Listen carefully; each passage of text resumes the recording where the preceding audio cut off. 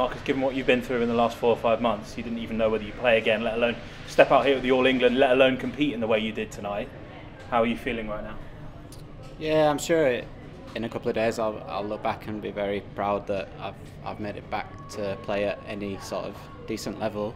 Um, it's actually quite emotional, to be honest. I'm finding it quite hard because I didn't play how I wanted to play.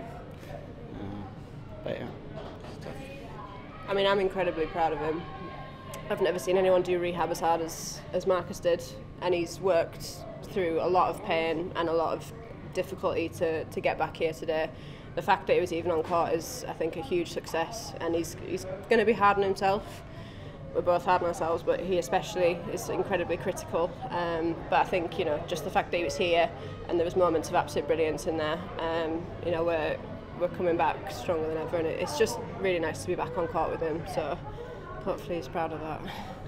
Yeah, just one for Marcus, just to have your people here today watching you play, friends and, Yeah. and family. Just lastly, what does it mean to you? Yeah, you know, it's it's amazing. You know, uh, the fact that I managed to get back in time, so I actually never miss an All England. It's it's an amazing amazing feeling.